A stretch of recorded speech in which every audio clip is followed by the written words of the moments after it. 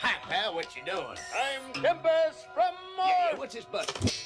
Say, you weren't thinking of flying, were you? Well, You know Andy loves toys that can fly. really? Well then, to infinity and beyond.